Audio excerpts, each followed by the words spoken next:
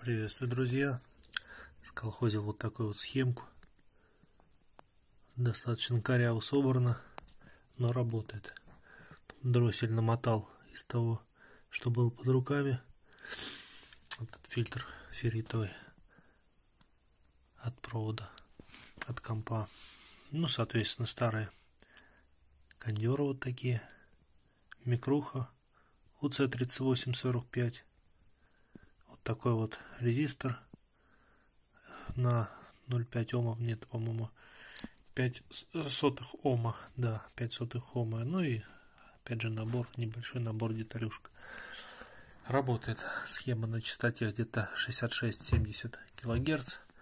А, очень интересная особенность этого преобразователя в том, что можно получать как повышенное напряжение, так и пониженное, то бишь он повышающий, понижающий. Ну, тут я нацепил осциллограф китайский, колхозный.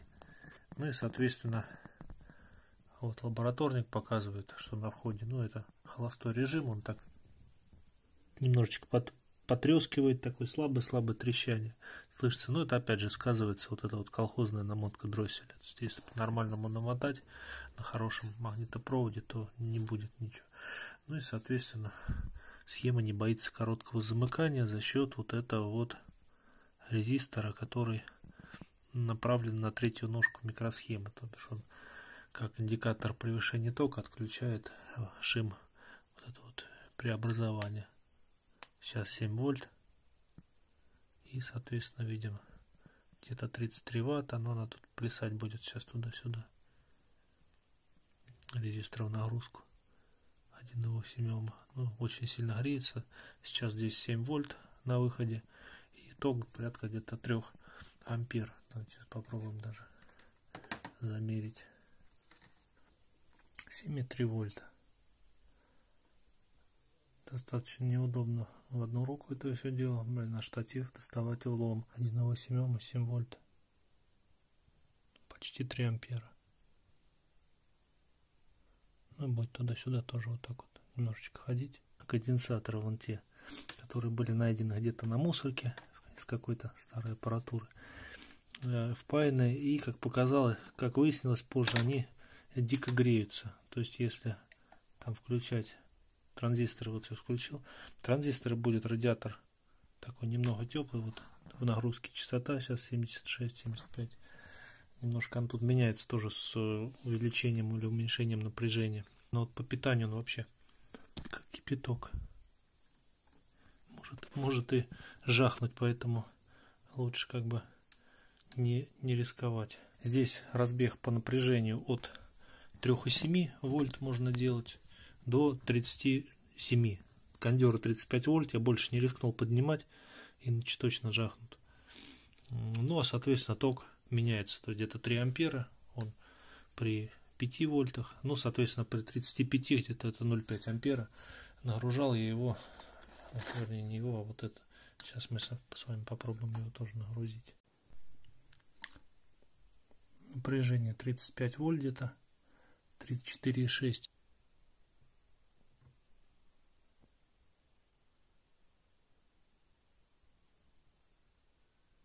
Прогревается, соответственно, 4,3. Ну, где-то до 5, до 0,5 ампер будет подниматься. Вот она видно сейчас. 0,44. Опять же, если взять хорошие кондеры, там зашунтировать их какими-нибудь пленочными, то такого не, не будет сильного нагрева. Ну, а радиатор даже при длительной работе еле-еле теплый.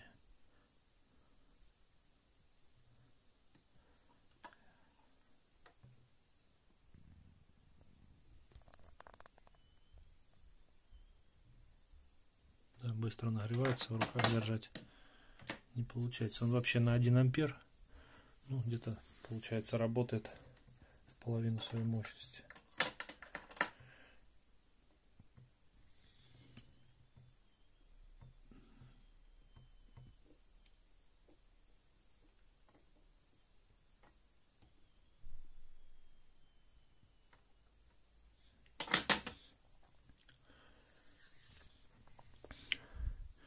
Ну что, перейдем к схеме. Давайте посмотрим основные особенности. Позже покажу, где подсмотрел идею.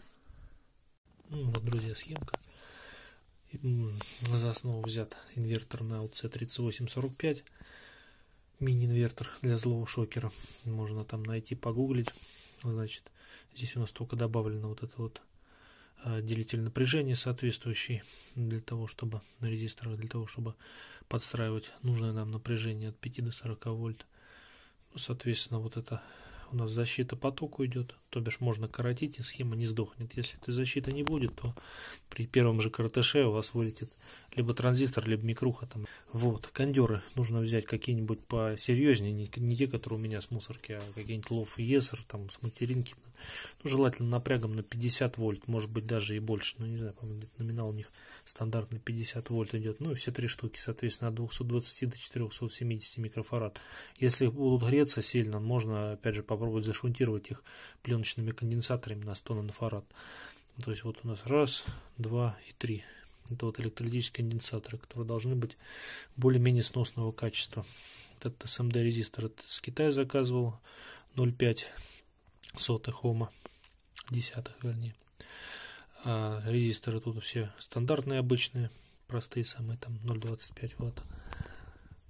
Частота задающая цепочка, вот эти два резистор-конденсатор, соответственно, частота на выходе должна быть от 60 до 70 кГц. А дроссель лучше использовать на хорошем магнитопроводе, либо марганцевые такие есть, зелененькие сердечники в Китае продаются, либо ферритовые. На железе вот этом желтое порошковым, ну, так ходят слухи, что не очень хорошо будет, будет там КПД низкий, ну вот как и у меня. Но у меня еще конденсаторы, конечно, ну, очень сильно греются, и в них, на них, так скажем, теряется основная, основной КПД. Очень хорошая стабилизация у схемы, то есть меняем напряжение на входе, на выходе оно там сотые вольта буквально там падают, ну незначительно очень. Это начало и это конец То есть фазировка обмоток, если это начало, то это конец. Если это конец, то это начало. Если фазировку спутать, то работать не будет. Ну и все это дело мы сажаем на радиатор. Вот он радиатор.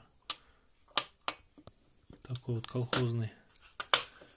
Как бы без радиатора транзистор греется, но на радиаторе может долго работать и будет не сильно горячий. Идею подсмотрел вот здесь. Сайт чешского электронщика, много интересных схем всяко разных. Ну вот, в том числе и наш вот этот, который сегодня рассматривали.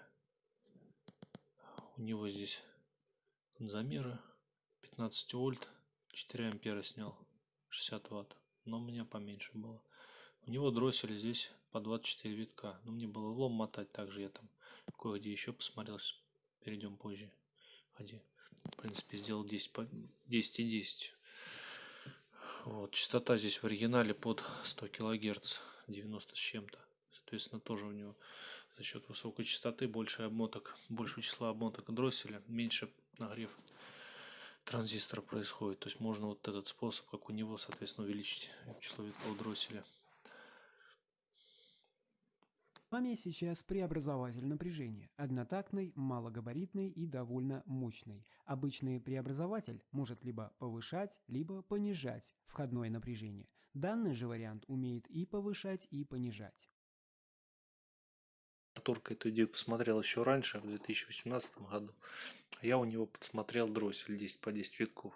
Решил взять его за основу. Ну, пришлось ввалить Артурке дизлайк, потому как он забыл пятую ногу, он повесить на минус. Соответственно, схема работать при этом не будет. Ну, в общем, все, в принципе, точно так же.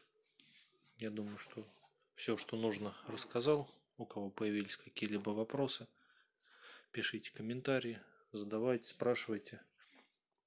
Может быть, позже сделаю статью по этой теме. Всем пока и спасибо за просмотр.